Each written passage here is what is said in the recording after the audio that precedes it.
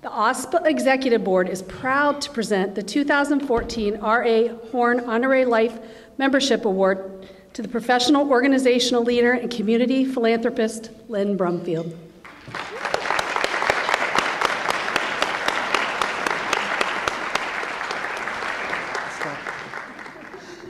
I, I just want to say that um, in, in getting this today, my, my thoughts go to an old movie that many of you may not know, um, Little Big Man, which is the way I think of us sometimes. And as um, Chief um, Dan George, I think he was, his character was old Lodskin, said, Today my heart soars like an eagle. And I am very honored um, to accept this. And um, I want to thank the association, OSPA, particularly my regional association, who, who um, put this together for me. Um, I appreciate that. But there's many thank yous.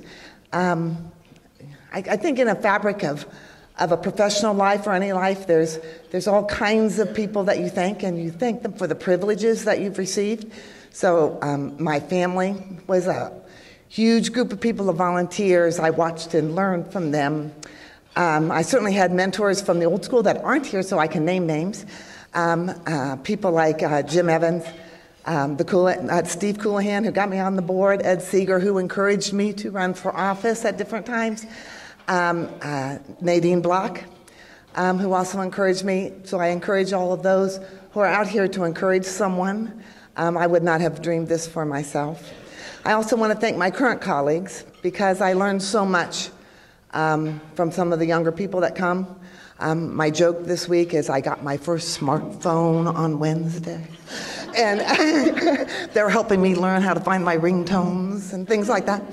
Um, so uh, I, I, learned from them. I, I, love Excel spreadsheets, but my interns taught me to make pretty charts and graphs, right, Courtney? And, um, uh, and so I learned from them.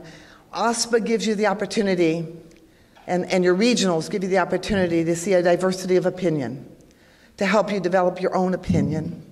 And, and that has been invaluable or priceless for me. And um, I've worked in single psych districts, I've worked in multiple psych districts, and um, probably the most valuable professional experience I've had is working with the association. So if you're young, please join. You can be the common man. I am a common man. I am not the great thinker. I'm the common man, and um, you can find your place. We need all kinds of roles here. So I encourage you to do that. And um, I thank everyone again very much. Thank you.